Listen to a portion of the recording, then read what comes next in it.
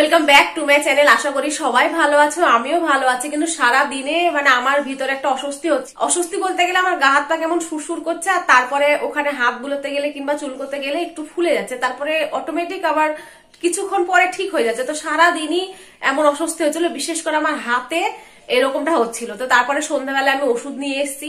তো সারাদিন যেহেতু এমন একটা অস্বস্তির মধ্যে ছিলাম, তো সেই জন্য কোনো রকম কোনো ভিডিও আমি করিনি। তো আমি জানি যে তোমরা আগামীকাল অপেক্ষা করেই থাকবে সেম টাইমে তো আমার একটা দায়িত্ব পড়ে তোমাদেরকে কারণটা জানিয়ে দেওয়ার যে কেন ব্লগটা যাচ্ছে না আজকে। তো সেই জন্যই যাচ্ছে না। তো এখন আমি ঠিক আছি, ওষুধ খেয়ে নিয়েছি।